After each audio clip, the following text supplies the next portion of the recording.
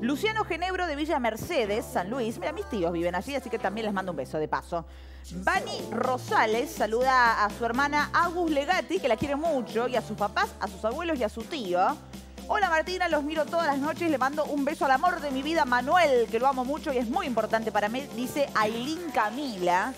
Belisa Bruset y Gastón Besada. Belisa Bruset, una amiga mía de la infancia. Gastón Besada, Besada, ¿eh? el hermano del productor Mariano Besada, eh, han sido padres recientemente, así que le mandamos un beso enorme por la llegada del pequeño Tiago. Un beso grande para toda la familia. Y finalmente Abril Lugón es también la hija de nuestro director Sebastián, que nos está mirando. Dice que le encanta Diario de Medianoche. Así que también para ella va un beso muy grande.